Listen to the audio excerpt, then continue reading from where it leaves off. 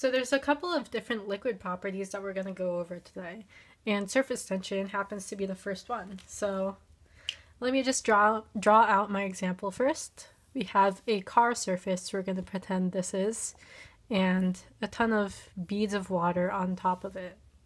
So this is an example of surface tension because surface tension is basically uh, it's caused by the attractions of the outside molecules of a liquid to the inside ones.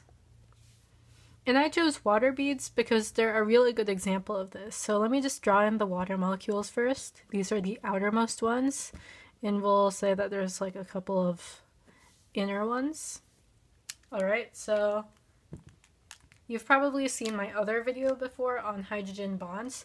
But what they basically are is that um, the partial hydrogen, uh, partial positive hydrogens on one water molecule are going to be attracted to the partial negative oxygens of another water molecule.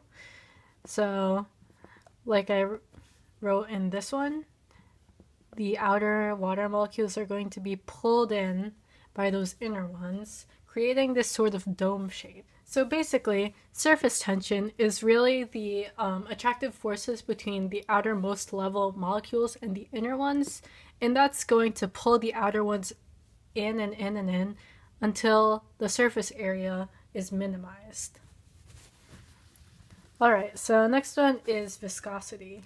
Viscosity is basically a liquid's resistance to flow. So the higher the viscosity, the slower it's going to be. Think of like syrup or molasses. And then the lower the viscosity, the faster it's going to be. So we would say that water has a lower viscosity than syrup because it flows faster. Next one is evaporation. That's pretty easy. Um, that's when parts of a liquid uh, evaporate into a gas.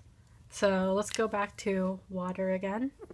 Let's say we have like a little container of water and some of the water molecules are evaporating into water vapor. So I'd like to um, point out that you have an average kinetic energy that you start out with when you have your water.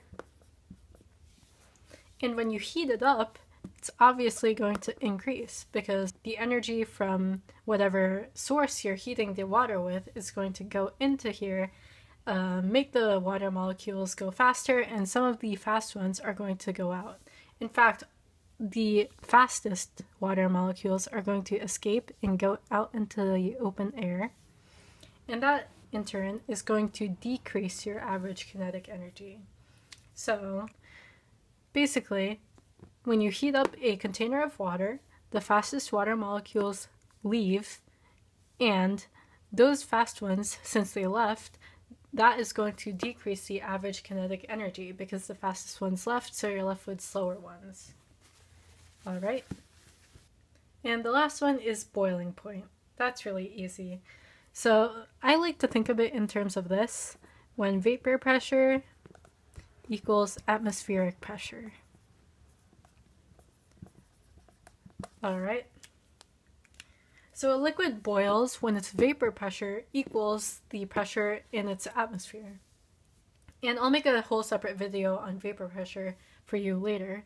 But what vapor pressure really is, is the amount of pressure that builds up when um, some of your some of your liquid molecules evaporate.